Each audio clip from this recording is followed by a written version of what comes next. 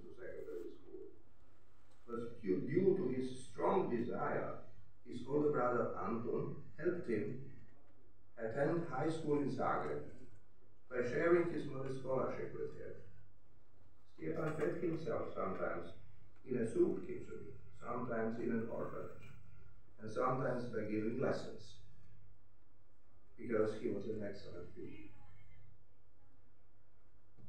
But already in the sixth grade in school, in 1889, he protested against the Viceroy Khuen-Héderváry, who worked on Hungarizing Croatia, and ended up in prison for the first time, earlier than Gandhi. Stefan Radic enrolled in law studies in Zagreb in 1891, a little later than Gandhi in London in 1888.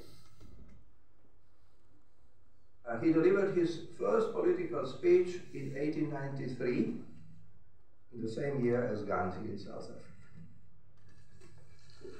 At the celebration of the 300th anniversary of the Sisak victory over the Turks, he publicly demonstrated again against the Viceroy Héderváry and earned now four months in prison. But in prison, he learned Czech language and then continued his law studies in Prague in 1894. He met there many prominent Czechs, as well as his future wife, Maria Dvorak, the niece of the famous composer Antonin Dvorak. But he also came there in trouble because of his political activity, and he was expelled from the Austrian part of the monarchy. He tried to continue his studies in Budapest, but could not resist in 1895 and participated in a demonstration in the burning of the Hungarian flag on Jelačić Square in Zagreb. Yeah. Uh,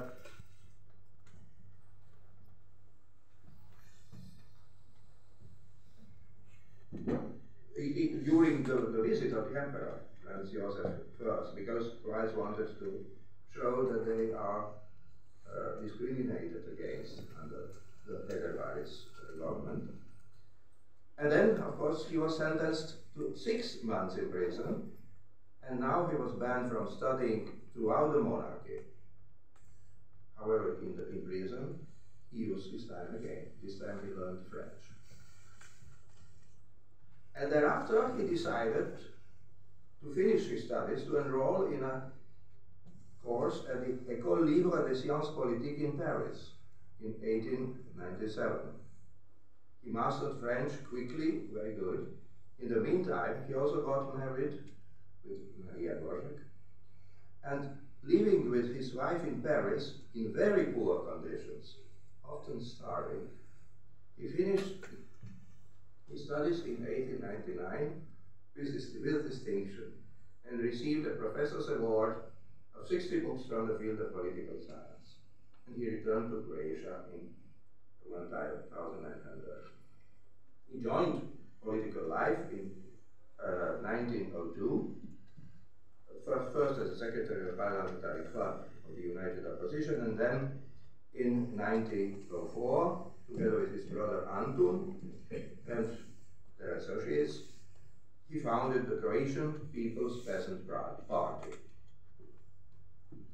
This party achieved still during the times of the Austria-Hungary that the first representatives of peasants took place in the Croatian parliament for the first time in history. After the First World War, uh, in the kingdom of Serbs, Croats, and Slovenes, the party, Croatian Peasants' Party, gradually became the strongest Croatian party the second, strongest in the entire kingdom. The period of Radic's activity in the kingdom of Croats, so this already coincides with the period of Gandhi's activity in India.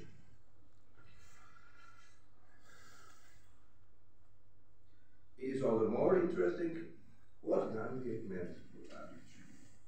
In his short foreword to Rolland's biography of Gandhi, which Radic uh, says that everybody in our people will understand with his mind and even more with his heart my God, those poor Indian peasants suffer the same as we Croatian peasants, and even more so. And that great Indian teacher and organizer of people is the same as the late Ante Radic and the other founders of the Croatian Peasant Party. There are whole pages in this book that correspond to our peasant program uh, as if they were copies from our journal, Dom, the poem.